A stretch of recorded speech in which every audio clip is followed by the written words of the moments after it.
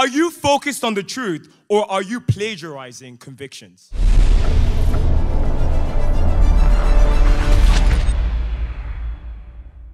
Family, we have heard incredible things tonight.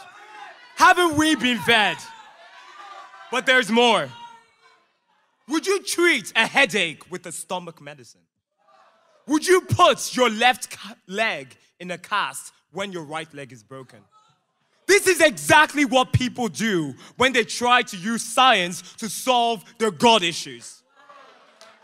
They try to say science is atheism. Science is complicated concepts. Science is an opponent of God. But I know my Bible says that God is the creator. And although people worship created things, it doesn't remove the creator. But the thing is, Science is not against God, but people can be because of a lack of truth. Do you love truth? I'm Harry, and I'm a third year medical student at Imperial College London. And I'm currently enrolled in the International College of Christian Ministry. The title of the charge I've been given is Science and God. A wise man once said this in critical and baffling situations, it is always best to return to the first principle. I would say world evangelism is a critical situation. In Acts chapter 17, verse 10, it says, As soon as it was night, the believers sent Paul and Silas away to Berea.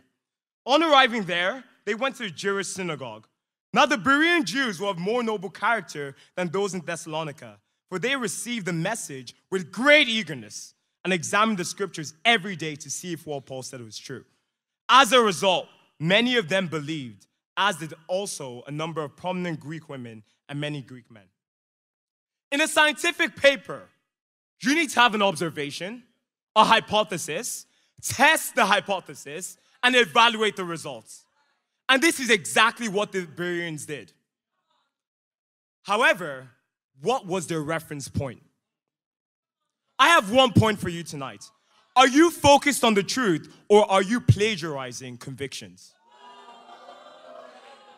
The word examined is anakrino.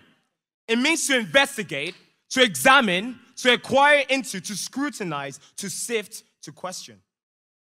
What was their major reference point? It was the Bible. Paul shared with them, absolutely. But after Paul shared with them, they went straight to the Bible. After your D times, do you say, I do this because my disciples said I should do it? Or do you see it in the Bible? They use Paul's convictions to lead them to the Word of God. Why do we believe only disciples are saved? Why do we believe that there are no atheists? Because of the Word of God. Are you plagiarizing Kip's or Michael's convictions? Or do you see world evangelism in the scriptures? Do you quote scientific facts more than you do the Word of God? This shows an, a fundamental unbelief in the Word of God. And my own cardinal sin do you struggle to give up everything when you should have done so before your baptism? These are challenging ideas, so we need faith and God. We need the Word of God. Where are your reference scriptures? What do you struggle with? How can you deal with an issue you don't even know? Because if you don't deal with the issue, you look for other options.